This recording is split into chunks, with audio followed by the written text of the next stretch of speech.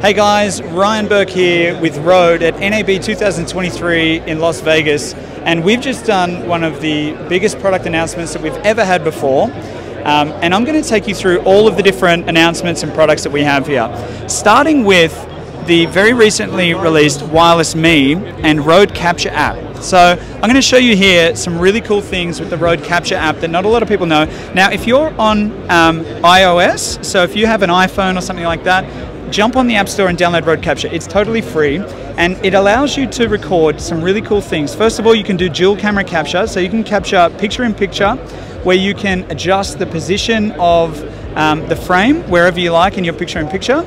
You can do side by side split view, or even if you're shooting in vertical, you can do it like this. You can also opt to combine or separate the videos. Now, if you choose separate videos, you will get the full 16 by 9 frame on two separate tracks, like completely separate videos that are perfectly synced for post production.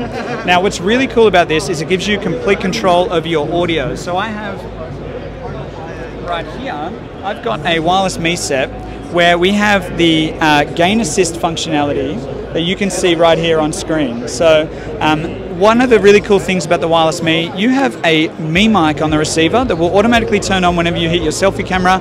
You also have a microphone on the transmitter and you can plug a lav in.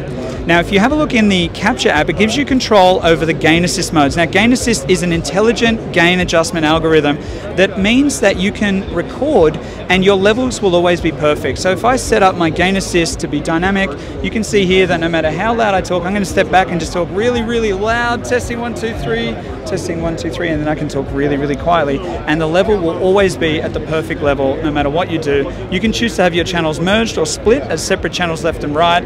Um, and it just makes creating content actually quite unique, having that front and back camera functionality and really, really easy. So check out the Wireless Me, which is about, definitely try it out. Yeah, there we go. So this is the transmitter, that's the receiver, and right there you can see the Me mic, the content. All right, next up, I have a really exciting update for the podcasters, the live streamers, and the gamers out there. This is called the Rodecaster Duo. So if you come on over here, I'll show you. This is a compact version of the Rodecaster Pro 2. It has the same powerful processor and digital functionality in a more compact form factor. So where the Rodecaster Pro 2 has four uh, microphone ins and uh, and headphones. You've got two channels of combo jack XLR in, um, where you can run mic line or instrument with the Revolution Pre, and you also have two headphone outputs.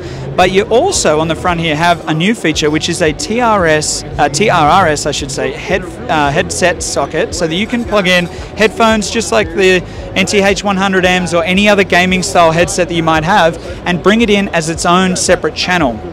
Now, for those not familiar with the Rodecaster series, this is absolutely the, the gold standard when it comes to a um, content creation console for podcasting and, and production. Um, you can simply go into your settings and set up microphones. You've got complete control over your audio effects, which is really, really handy. Um, you've got smart pads on the side here where you can set them up to be um, sound effects, voice effects, mixer actions, even MIDI triggers to control software like OBS. It is absolutely uh, a breeze to use. And to start a podcast, all you need to do is turn up the levels, connect your microphones, and hit the record button. Just like that, we're recording a podcast right now. So, very nice. Now, something else we debuted with the Rodecaster Duo is wireless connectivity on the unit itself. So, if you have a look, I can get a wireless transmitter and I can actually hook it up directly onto one of the channels of the Rodecaster Duo. Now this operates really simply. To pair a new device, I'll actually show you the whole pairing functionality. I'm going to grab a Wireless Go 2 here and you'll see just how easy it is to actually pair a system. Now, we'll get to this one later. This is our new charging case for the Wireless Go 2, but I'm going to turn on a unit here and we're going to pair it up to the Rodecaster Pro. So you can see here I have a Wireless Go 2. It's not paired to anything, it's flashing. So I say pair new device. It's searching on the Rodecaster Duo. I tap the button and straight away we're paired up. Now you can see here I've got battery and link status.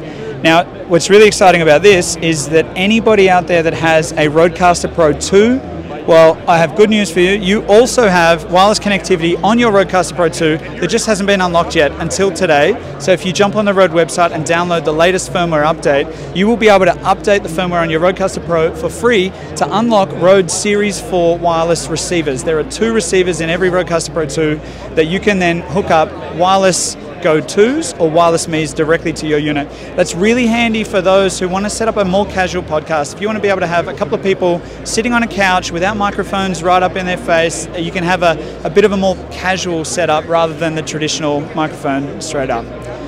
While we're talking about podcasting and streaming, I've got to show you the Streamer X. Now, the Streamer X is the very first complete capture card um, audio interface and smart trigger solution on the market. Now this captures 4K video, it'll capture 4K 30 and pass through 4K 60 um, it is a complete professional audio interface solution, and you can use the smart pads just like on a Rodecaster Pro 2 or a Rodecaster Duo to trigger sounds if you have music or anything loaded, voice effects so that you can affect your voice coming in. You can even set up to trigger keyboard shortcuts to advance slides on a presentation or anything like that. Now, the audio inputs are really awesome. You have the ability to connect via a combo jack input um, I have another unit here that I can show you on the back. So you can connect an XLR or an instrument source. You can plug in a headset right here on the side.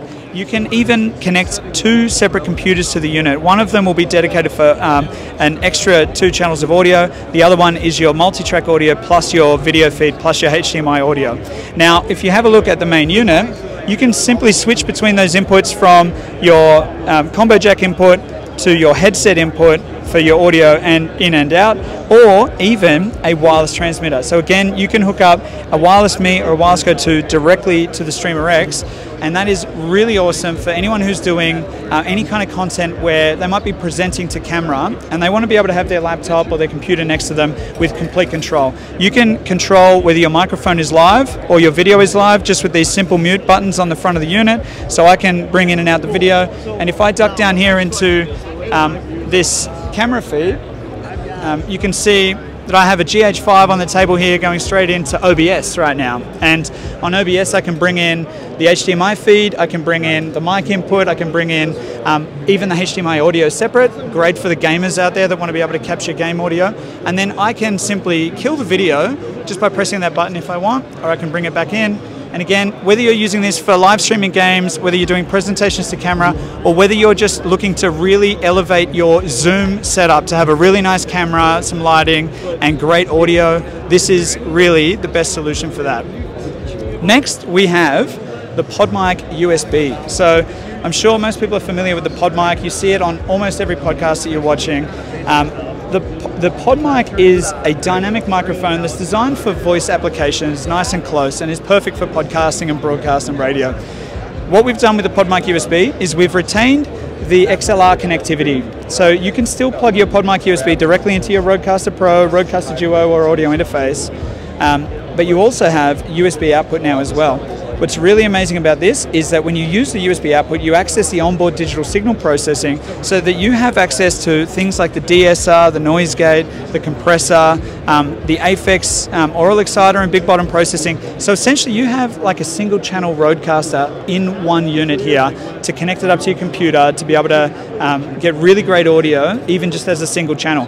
Now something that makes it really cool is the fact that you can get a Rode SC19 cable, which is our USB to Lightning, and this is actually MFI compatible, meaning made for iPhone compatible. So you can plug it into any Mac or PC, you can plug it into any Android device, but unlike most microphones out there in the market, you can also plug this PodMic USB straight into your iPhone and create content. So whether you're using the internal camera app, Rode Capture, um, TikTok, anything like that, you can now use a pod mic, probably a PSA 1 Plus or a nice arm and create really cool podcast style content as a solo creator. Now, I did promise to get back onto the Wireless Go 2 and some of the advancements that we go to charging case. So we've got a lot of people out there who have requested a charging case for their Wireless Go 2. We didn't want to just make another charging case. We wanted a charging case that could also protect your gear. We know that the Wireless Go 2s are used in some pretty run and gun environments, um, and we wanted a case that was just as solid as the Wireless Go 2s are themselves. So when you pop them in there, you can get up to full uh, three full recharges of the units with the internal battery, and then you can zip it up and keep them really nice and solid and secure. You can recharge the unit with a single USB-C on the back. And while I'm on the topic of Wireless Go 2, I want to show another really cool feature to all of the Wireless Go 2 users out there.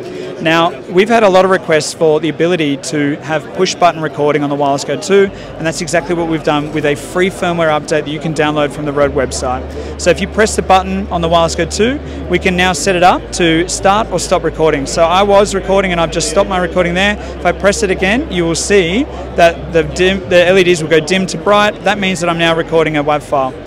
Now it doesn't stop there. What we also have is the ability now to um, directly connect your USB-C straight into your computer and the Wireless Go 2 will now show up as a standard um, uh, hard drive. So you can just drag WAV files straight off the Wireless Go 2 rather than having to use Rode Central to be able to export your files.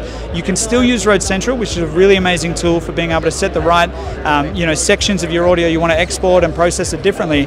But for those that are in fast run and gun applications where they really need to just grab their, their audio off their Wireless Go 2s, now you have push button recording and the ability to just directly transfer WAV files from your, your, your Wireless Go 2 straight to your computer without any other software.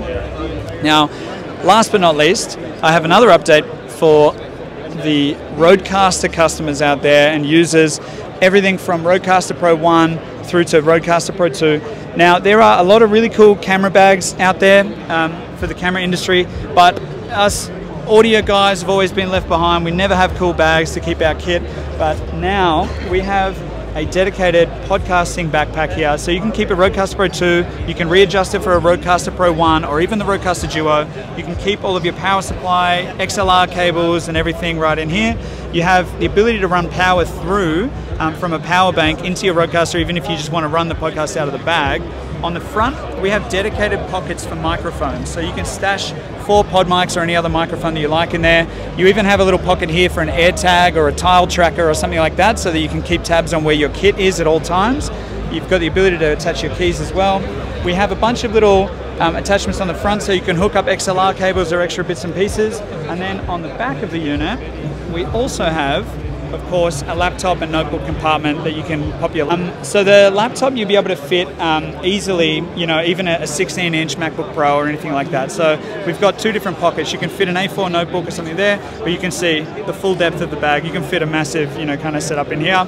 Now on the sides of the bag, we also have the ability to pop in your PSA 1s or PSA 1 pluses. This is the ability to actually open it up, pop your arms in there, and then you can keep them nice and closed with the little strap. So you can literally have a full four-person podcast rig um, in one setup here to be able to, you know, keep your kit all together, bring it to shows. And I understand that a lot of people out there who are podcasting are quite often having to be mobile. So now we have the one solution where you can keep your gear safe and secure and portable. And of course, it's very comfortable. It's made from Alcantara and ballistic nylon and really high quality materials that are going to uh, last as long as your um, overall podcasting rig.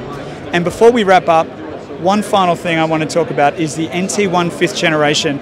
Now, this microphone came out very recently and is the world's first 32 bit floating point microphone, and it has a really cool trick up its sleeve. So, the NT1A and NT1 series have been around for a long time, and we're up to the fifth generation of that microphone.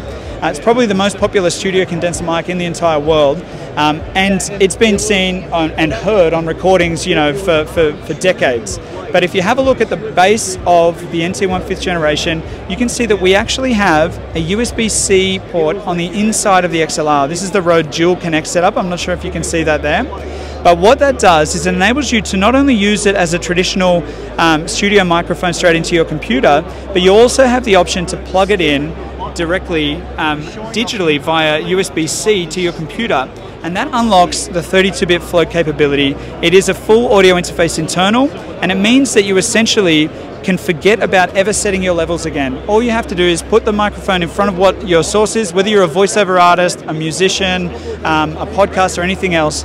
You can simply hit record when you're running 32-bit float and adjust your levels in post-production. It's not just about not clipping your audio, it's also about having audio that the noise floor is in, incredibly low. Now with the NT1 5th generation, it is the world's quietest studio condenser mic with only 4 dBA of self-noise and you can um, handle extremely high SPL with this microphone without clipping. So it's pretty amazing. It's a game changer in the studio mic space. We've basically deleted the gain knob for most recording workflows. So there you have it guys. I'm Ryan here with Rode Microphones at NAB 2023. I hope you found that interesting.